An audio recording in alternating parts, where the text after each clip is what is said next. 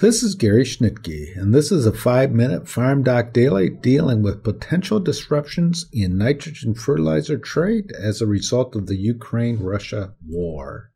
To gain a feel for the potential disruptions, we first look at what the trade was before the Ukraine Russia conflict in 2019.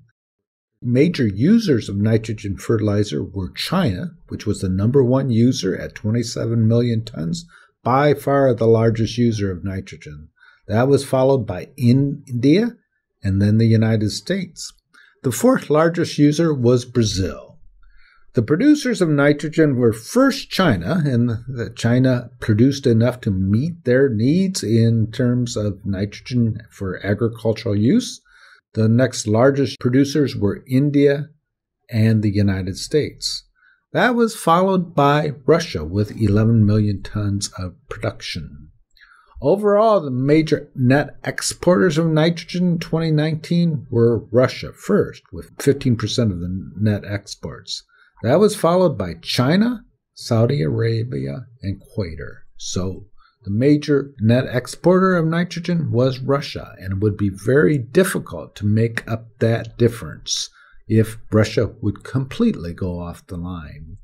The major importers of nitrogen was first India and then followed by Brazil, and Brazil imported almost all of its nitrogen use. That was then followed by United States and France. If we look at potential disruptions from the Ukraine Russia war, we first look to Russia there is a potential that Russian supplies of nitrogen to the world could be reduced either because of the war itself or because of sanctions placed on Russia. The second area where we could see reductions is the European Union or Western Europe. That area was largely self sufficient in nitrogen production before the war, but they are have a stated goal of reducing natural gas imports from the Russian Federation. Russia provides 40% of the natural gas needs of the EU. If that is cut, at the very least, nitrogen from that area will be relatively high compared to other sources and will likely have to be curtailed so that Europe's heating needs can be met. The third area where we could see reductions from are areas that could provide natural gas to European Union but are now using that to produce nitrogen. One of the prime examples of that would be Norway. Those are the areas where it could be cut if we're looking at impacts of that, particularly on the Western Hemisphere and Brazil. Brazil is going will have to look for new sources of nitrogen.